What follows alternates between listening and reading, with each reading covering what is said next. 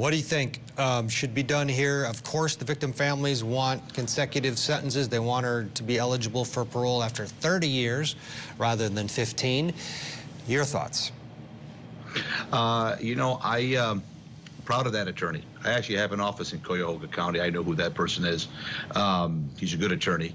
Um, I think the best, the best and most emotional defense of uh, the defendant at this point, because we're in the sentencing phase, was her mom. Her mom actually explained what was behind the TikTok. Because before her mom came up, I, uh, pretty sure like anybody else, was offended by the TikTok posts. Uh, because they were clearly uh, after the accident. They were within three months after the accident. So I was shocked, you know, that she. I said, I thought to myself, well, she has had no remorse. Her mom came up and explained those posts, and then I thought to myself, okay, there was always a, a second side to the story I didn't, I didn't understand. And then her attorney talking about the uh, possibility of recidivism, recidivism and that it's low with uh, his client, that also swayed me because at the end of the day, uh, you're supposed to correct someone's behavior. These two people lost their lives. He was correct. She's going to get flopped at least once. So even if she she serves these sentences consecutively, you know, concurrently, she's still going to be in jail for at least 20 years. And to get out within 20 years, she has to prove to the parole board that she's a good person.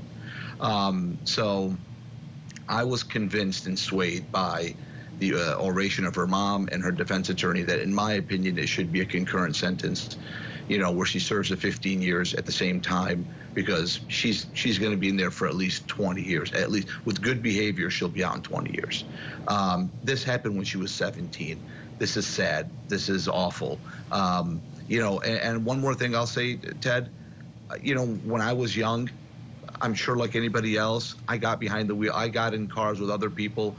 Now when I look back at it, I don't know if I'll be comfortable seeing my kids get in get in the car with other kids because I got in the car with other kids and they drove like madmen, right? And they drove and they weaved in and out of traffic and we were young and I didn't understand I didn't appreciate the the the the you know the danger of it at the time. Nobody would do that right now. If I was in the car with somebody right now, I've got my seatbelt on, they've got their seatbelt on, they're obeying traffic signals, but I'm a 44 year old man when I was 17, my friends were 17. We were weaving in and out of traffic. I still don't know how we're alive. Um, we're just lucky.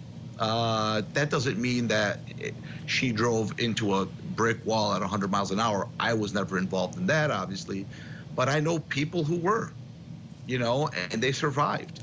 Uh, kids do dumb things. She did a really dumb thing, and people died.